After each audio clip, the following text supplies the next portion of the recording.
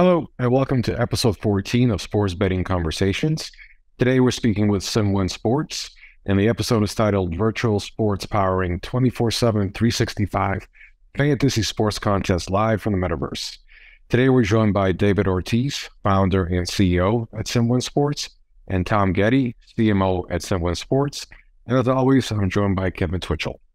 Well, David and Tom, thank you again for uh, joining us today. Um, David, we'll start with you. Uh, tell us a little bit about yourself and how did you get to where you are today?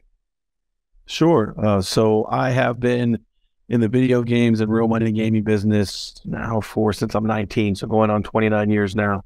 Um, started at Atari Midway. Uh, worked on a game called Wayne Gretzky 3D Hockey, which was which was a fun one back when it was still arcade as well as as well as a console. Uh, was over at Microsoft uh, as a, as a, the first game designer there and uh, worked on a product called NFL Fever, you know, some games on the Xbox Live platform.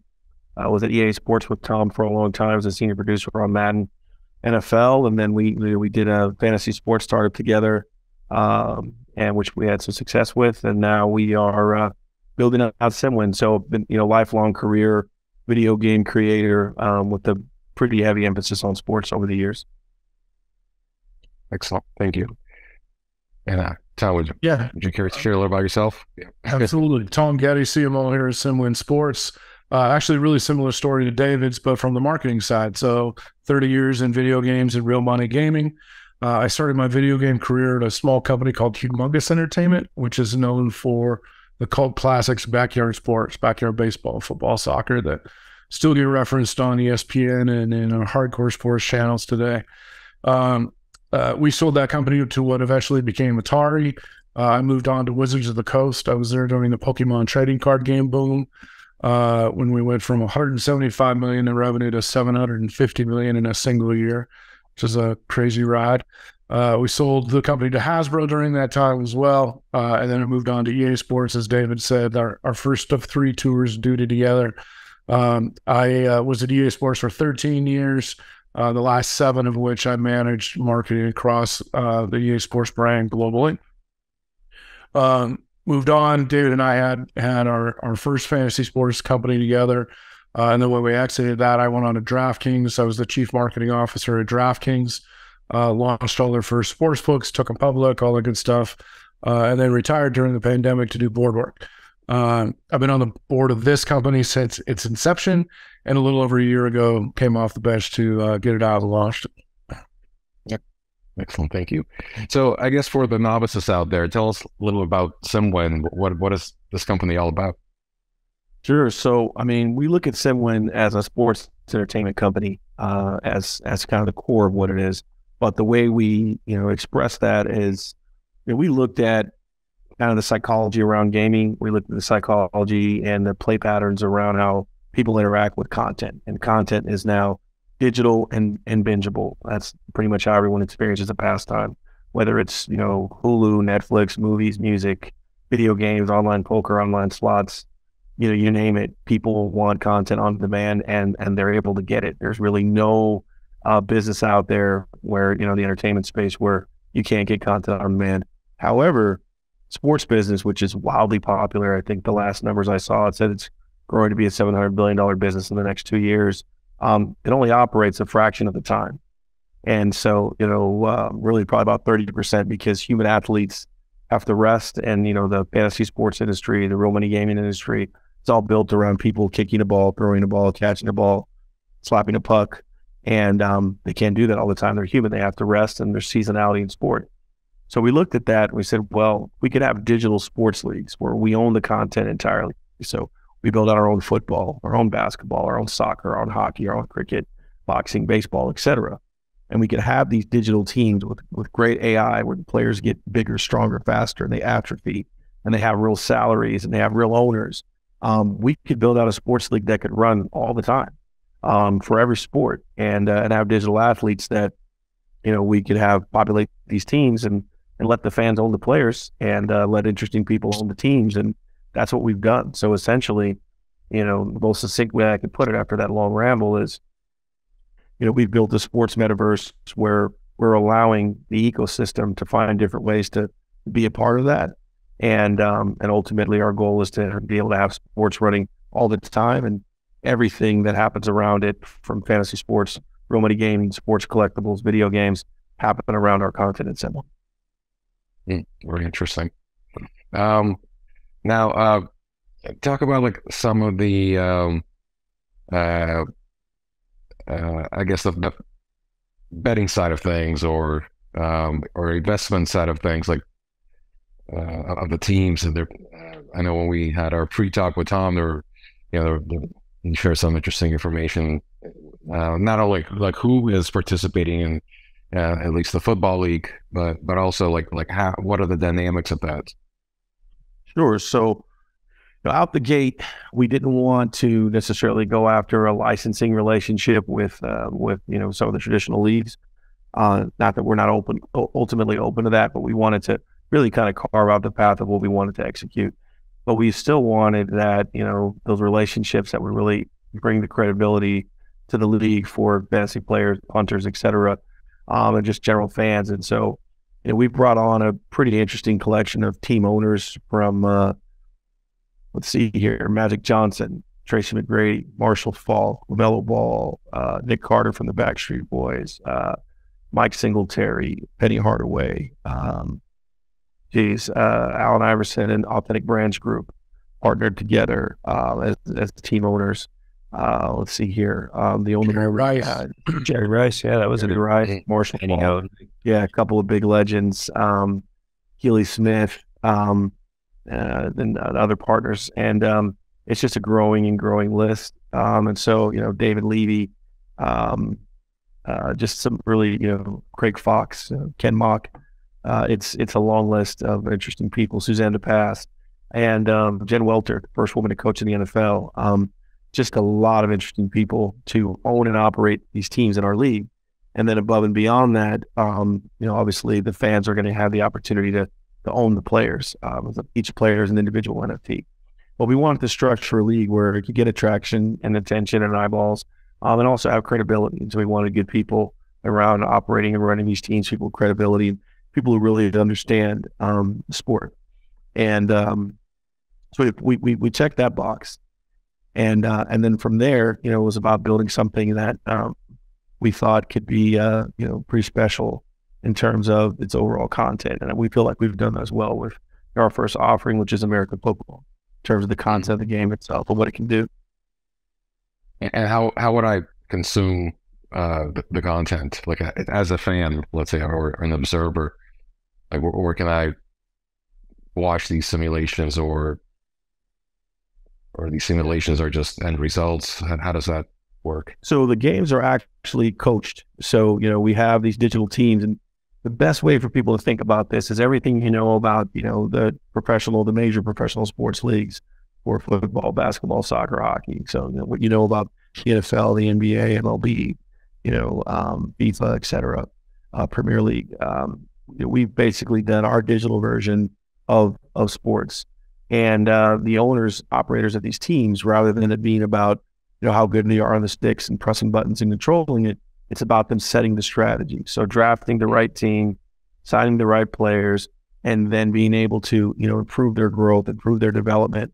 But on game day, rather than you know just being a pure sim, they're calling the plays and setting the strategy, or they kind of preset the behavior they want their team to do, and then the AI plays it out. But there's no human influence on the physical like controller of a player. It's all it's like being Bill Belichick or Mike Tomlin on the sideline, setting the strategy, calling the plays, building the team, and uh, and then and then it off and off it goes. And so they'll be able to see that. Um, our site is SimWinSports.com. We go live uh, here in, in, a few weeks, and they'll be able to go there. And as far as being able to consume it, you can consume it on your mobile device. You can consume it on your desktop. Um, pretty much anywhere where you have a connection. We've optimized for both you don't need to go through an app store. You can just literally go to our site and uh, consume on anywhere you are in the world on your device. Wow, that's and that's twenty four seven, right? So so so when we when we get live and we're live, and I want to watch Magic's Magic Johnson's team, you know, Tom, on your side, from the marketing side, is there a schedule? Am I jumping in live and and I'm just hoping to see it, or you know, in this twenty four seven environment? I think it's really cool because you know, program TV is you wait for Sunday for your your game. You know, will I be waiting for Magic's game and watching another cricket game, or how's that going to work as far as a kind of a programming the clock as they would do in traditional? Sure, these games run 24/7 365 so you can get, you know, American football action Tuesday at 2 a.m. in July. Uh, no more off seasons, no pandemic shutdowns, no labor stoppages, none of that good stuff. So um, you tune in anytime you want. We will run separate channels uh, for each individual sport so that all sports will be running um, 24 7 as, as described. Now, when you drop in, there's only one game going on at a time. We don't stack games. You're not choosing an instance to view. Everyone, whether you're playing fantasy sports or you're sports betting through partnerships or uh, you're playing our in-game um, uh, fantasy contests. We're all watching the exact same game run at the same time, but we're pooling the liquidity from all these different partners all around the world uh, into these different contests that that we're running. So, um, yes, you would need to note the schedule if you want to sp- very specifically watch Magic Johnson's LA Magic take the field uh, with him at quarterback. Um, but you can tune in anytime, day or, day or night, and get live action. That's cool. From hockey to cricket. Yeah, like I said, you know, we'll run these basically as individual channels. So once we're built out and we have all eight of the sports that we have planned running, then you just choose which sport you want to watch and, and go in. But it, it makes for really interesting programming from our side because, you know, we're encouraging eventually there will be a layer over the top that is going to be encouraging players to go to where the hottest action is. Um, so we're chasing time zones around the world. Obviously, cricket isn't going to be the most popular in North America right. uh, to begin with. Um, but we're chasing those time zones as well as uh, the individual sport interests. So the ability to kind of red zone cover across all the sports eventually is going to be a really interesting dynamic. Oh, that'd be that that is interesting to have red zone across sports instead of just uh, that's, yeah. that's great. That's, that's all we cool. watch. Yeah. You know, when it's out on a Sunday, just, that just goes. It just literally goes. That's a punch for you, right? right. So, you know, we talk a lot about sports betting, obviously, on this and technology. And, you know, Russell touched on earlier, where does now we kind of have a better understanding of now we've got your channel, we got your programming. Now, where does this other angle come in with the sports betting and, and, and who are your partners in that world? So we run uh, we run fantasy contests uh, first party. So just like the NFL, the NBA, everybody else, you own that. That's your own that. We run it ourselves. From a regulatory standpoint, we cannot be the house and run the league, obviously.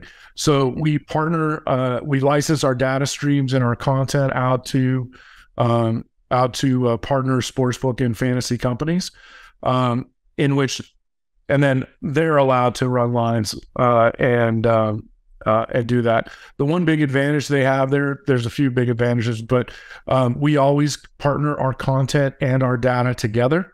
So whatever device you're on anywhere in the world, as long as it's a legal regulated territory, um, you can watch the games and be making your picks all from a single screen. And depending on what the partner wants, uh, that can look very different, right? So for brick and mortar, uh, you know, at the end of the night, Sunday night, when the last NFL game shuts off, we can click over and continue um, uh, that sportsbook partnership there. We can run them on their platforms, uh, you know, so we could be embedded into the Caesars app. Uh, we would even go so far as gray labeling.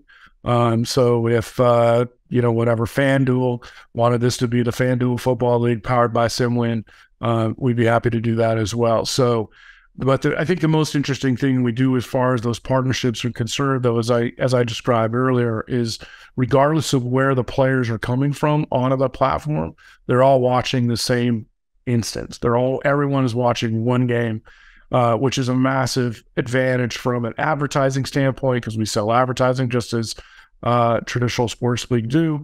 Um, uh, making sure our liquidity stays high uh, through all different time zones and places in the world, all that good stuff. So there's a lot of new challenges with uh, running 24/7 sports leagues, um, but we've got some pretty uh, pretty sensible answers and pretty smart people involved.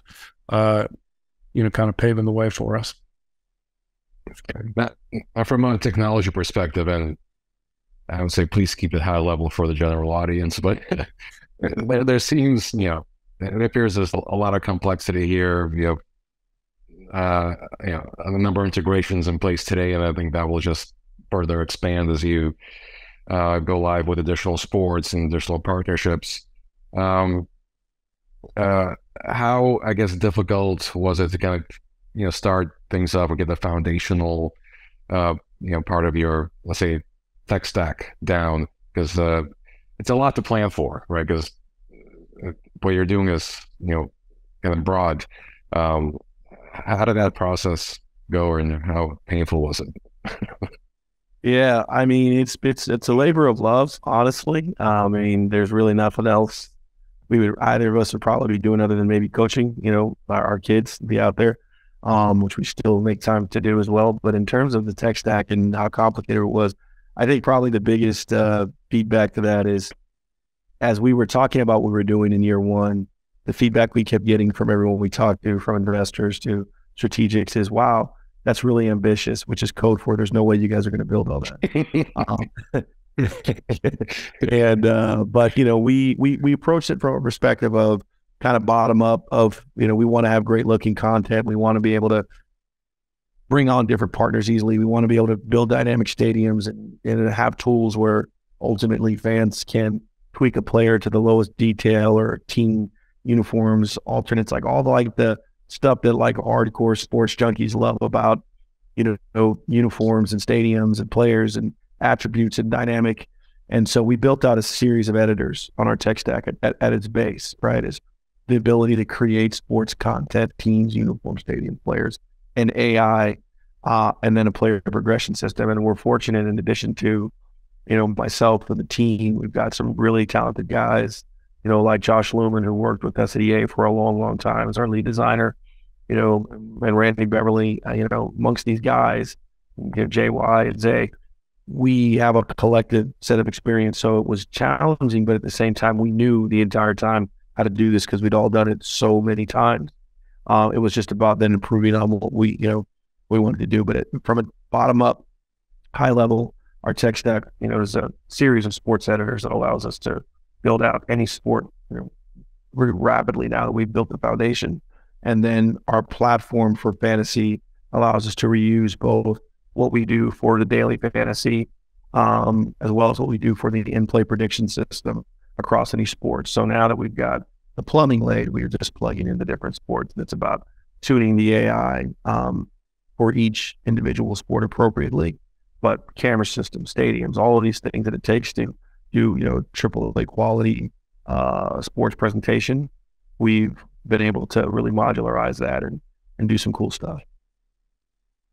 And uh, how has the recent emergence of you know ChatGPT or you know similar you know i think people we've been talking about ai ml you know for i don't know about five to ten years now and nobody knows what the heck it means but now i think people can equate right ChatGPT to ai because it's being used um, uh, you know kind of broadly you know across you know social mediums the news what have you. So people are starting to kind of piece those things together. But how's the emergence of technologies like ChatGPT um, affected your you know strategy in terms of you know technical approach and and, and even approach of the product itself?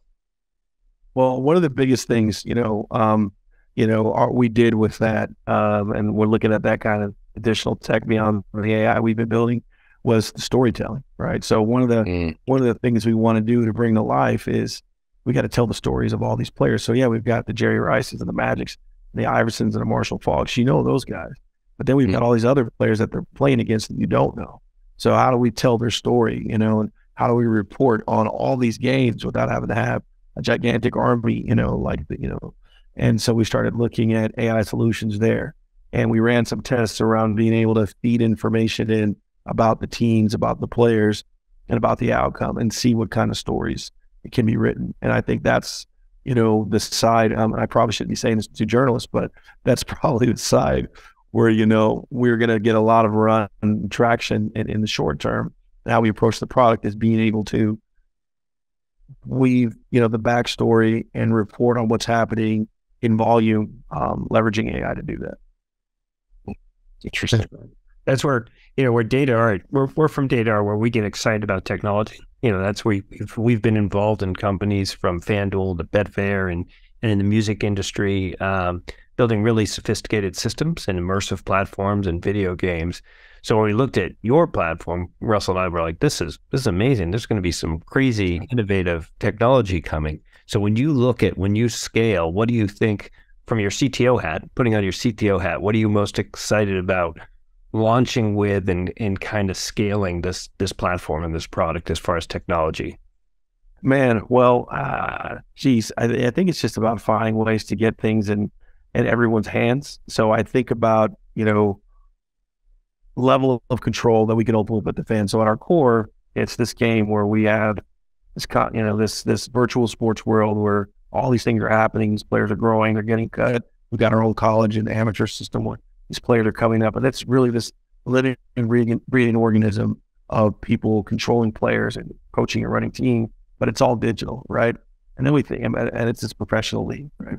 And then we think about, well, look, we've done all this to mirror what's happening in the you know, in, in the world of professional sport. What feeds it?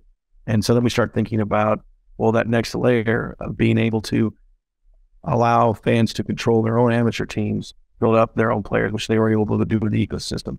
Let them start even earlier, have a separate area where they can do that, have that retail side of it where people can play and control their own amateur teams and build that up.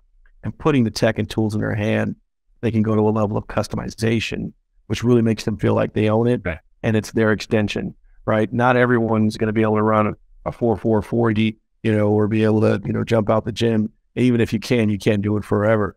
But now, um, you know, with this type of system where we ultimately want to see the tools in people's hands is their ability to create their version of themselves as a, you know, as a digital athlete and see how far they can take it and compete that way. So um, we're excited about that extension of people having those tools in their hands to do that. I, I think also, you know, less about technology, but certainly technology based is how do we present this? What's the broadcast look like? You know, a traditional sports game, all the action's on the field, right?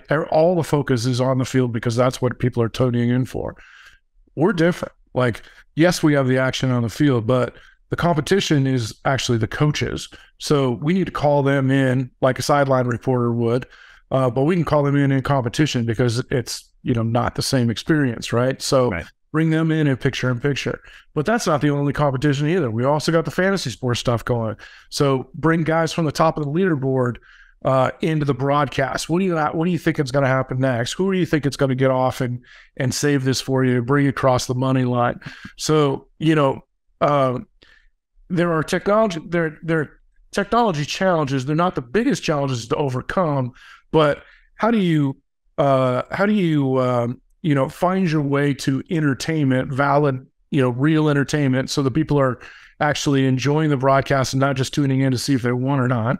Um, right. And then how do you make that as procedural as possible so that it's running 24 7, 365? Um, you know, that's, I think, is, is, you know, one of the bigger technology challenges as well is, all right, let's identify fun. And then how do we make fun run on its own? that's that's a big challenge but that's more in design than technology but it, it, it you know the lines are really blurry with this product and and engagement i mean really really the biggest thing is that fan engagement which will probably be all in your world tom. You know like keeping keeping the fan engaged is going to be it's probably probably a, a challenge but not so much because you have the celebrities. You know do you see your celebrities uh, you know, like when we work in music and other places, the celebrities really, when they're involved in these things, they promote them. You know, like I'm gonna be, you know, check me out, tune in. Will they be out there promoting themselves and this? Do they? Do you have this kind of these ambassadors uh, working with you to help get fan engagement? Well, we spent talking about it and their kind of socials and all that kind of stuff. They definitely will be, not only because they own these teams, so there's financial benefit for them for the league to succeed, for their teams to succeed, for them to win, uh, and not you know be in the bottom of the uh, of of the standings. All those things are really important. But even pushing that farther and encouraging that much farther, we actually set these owners up as affiliates. You know, nobody's tried this before, right? There's virtual sports, but virtual sports today are more like slot machine experiences than what we're doing. So you know, this is Wild Wild West. Like it, it has not been tried. And if you can imagine being an affiliate when online poker just kicked off, people probably made a lot of money. As uh, as as a blue sky and there's no competitors and all those things. And all of our owners uh, have those opportunities. And obviously we've got a network of traditional affiliates pulling from poker and fantasy sports and and sports betting as well. But um, the owners that have these huge social followings already uh, you know, stand to do very well by uh, uh, by getting this league up and running. Yeah, I'll, I'll add to that too. It's you know, there's a in addition to them having an affiliate and you know that a percentage of what happens. I, there's a lot of pride here, right? I mean, these guys, even when we were doing the draft, it was hilarious. You got guys like, you know, Manuel Acho, who's one of our team owners, commenting on the fact that he still has real abs versus some of the avatars that maybe be a little bit older. that's great. Some sort of celebs like these guys are they're they're they're coming for you know they're coming for each other. Not just that, you know, we have um, you know we've got athletes who are are crossing over from sport to sport. So you know you've got some really interesting you know all time point guards you know playing shooting guards playing quarterback. You've got Penny Hardaway playing at free safety. You know, and you got Marshall Faulk saying, "Hey, look, this is what I do. This is no way you're going to be able to compete with me in this venue." And you got a guy like Allen Iverson told us a great story about how you know he used to walk past the gym every day in Georgetown and uh, and walk past the football field on the way because he was an All American, believe All American. I know he was an All State football player in high school too. You know, and saying, "Hey, look, I wanted to play every day. Walk into the gym in Georgetown. I had to walk by the football field, and I wanted to be out there too, to the point where it tore me up. So now he's got a chance to play football. You know, I think That's stuff cool. like that. These guys, at the end of the day, they're they're still athletes. They're still passionate. They're still competitive. So you know, there's going to be all the incentive and opportunity for them to be able to, um, you know, uh, be motivated to bring people on the platform and stay engaged. But I think there's also just a lot of passion here. They like to compete. You know, these guys want to lose. Right. Yeah, and the other element that we talked about that we did haven't spoken about on engagement is the players. So every digital player that's running around on the field is an NFT entity as well, and it's owned by fans. Uh, so we sell those individually for about four hundred dollars. Uh, they have the opportunity, the people that buy the rights, which we call an NFT player agent. Um, uh, so those player agents have the ability to train their player uh, until they are joined on a professional roster. So the fans actually own a piece of this league, and those fans, as they are drafted onto a roster, begin to collect salary from them in in real world cash. We pay it in our token, but you can cash it out immediately. They collect a salary. They can uh, collect performance bonuses. Um, they can collect sponsorship dollars. They get a cut of the fantasy uh, sports revenue based on how popular their player is in the fantasy drafts. So the more their player is drafted, the more they're going to make of that pool. Um, just some really interesting ways. And we're the only Web3 experience uh, that I have come across in which you can purchase that base element, which unlocks all these other revenue opportunities, but you don't have to sell your original um, asset. So, you know, the key to to um, you know success in Web three, whether that's NFT or, or, crypto or whatever, is convincing the player base or the uh, the user base to hold on to their assets as long as possible, so the scarcity goes up, so that the the pricing goes up. Um, with this, like this is like I said, it's the only experience I've come across in which you can actually pull money out of the system without selling your primary asset. That's interesting. So when can I start buy players? You know, so Russell and I want to start buying players. Uh, yeah, how do how to start getting our NFT? How's people checking in? You know, get their first step in in this. When when are you going to st- open that up, or is it already opened up?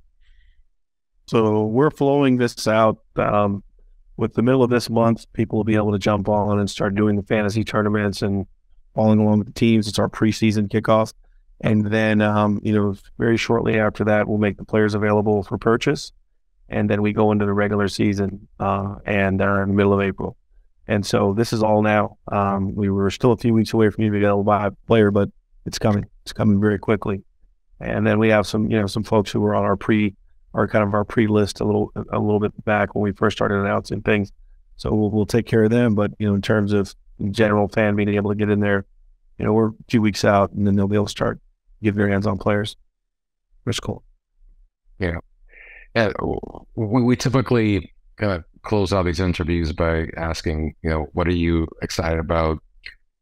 Uh, you know, that your industry, um, you know, um, or the, the future of industry or what we'll have in the next five years. But it seems like, you know, you don't have that. Uh, I can't, well, let me rephrase it. I can't ask you that question because you are the industry. So you are the excitement. You're bringing. You're bringing. yeah. What's the future of this business? We're looking at it, Russell. Right here, we got. David and Tom of the future right now. We're, I'm, I'm with the future. You know, it's funny. Since I think since the beginning of when I joined LinkedIn the first time, uh, which was about the time that we had our first fantasy startup uh, my headline has been driving conversions of sports, real money gaming, and video gaming. And those were very separate, but you know, it's come to fruition. Like this is the culmination of what David and I have done for the last 30 years, not only done it individually, but done it together for the last 30 years. So it is super exciting to bring all that experience into something that the world has never seen before. Um, nobody's attempted anything this uh, um, you know, ambitious, as David said earlier. um, and, uh, you know, he and the team have done just an amazing job pulling it together. So we're, we're just excited to share it with the world and, and, uh, and, and show everybody what the possibility of the future is. That's great. Yeah. Yeah. I think we're, we're looking forward to seeing it, um, when it goes live. Uh, it sounds like really interesting. It's unique. Um, I think it's a different type of content that people haven't consumed before. So, uh, I don't think there should be an issue getting eyeballs and um, maybe you know, some investment from from fans along the way. So yeah, so it's great. Following and then, like we talked about earlier offline, checking back in as uh, avatars and doing this in the digital world. Yeah, man. Within your platform, um, you know, it's going to be great to see how young I'll look. Yeah, well, that'll be fun. I think you know, we have literally this setup where as the game is being broadcast, we can go picture in picture, you know, with multiple people. So, you know, we'll all do avatars. We'll have the game go in the background. We'll we'll watch some sports. We'll kind of do what uh what Eli and uh and Peyton do when they're watching Monday night. We'll just sit around. We'll talk about the game. We'll talk about you know the action. You know where you know and uh, and uh, we'll, we'll all be digital. Todd will keep his gray beard, and I'll be I'll be fully, you know, Grecian formula. no, I'm really looking forward to it. And I'm looking actually forward to, you know, the hockey, as I'm a big hockey fan, you know, and your your days going all the way back to the Gretzky games, you know, can't see what you, can't wait to see what you do with with hockey and, and if you get celebrities involved there. Oh, we're going to do some fun stuff. And it, not just me. I mean, again, one of the reasons why all the games we've made in the past, you know, why they work is we've, it's always been like a good team of people who are passionate about it and get it. So it's not like one person having to be Atlas, and we've got some folks chomping at the bit to do some stuff around hockey. you know, work me and the rest of the team. That was going to be fun. Cricket's going to be fun. Cricket, cricket's got me really excited just for the overall global potential. We've got partners that are coming from everywhere wanting to get involved in that one. And then, of course, you know, soccer or football, you yeah. know, that one is going to be fun. Basketball. It's it's just, yeah, it's sports, right? Yeah, it's what yeah. we get up for every morning. Yeah, it's great. Well, thank you. Thank you for taking all this time. Yeah, yeah, this was great. Uh, very informative. A lot of a lot of information, but I think the story was told very well and succinctly. So this was perfect. Thank you so much. Thanks. Thank you, guys.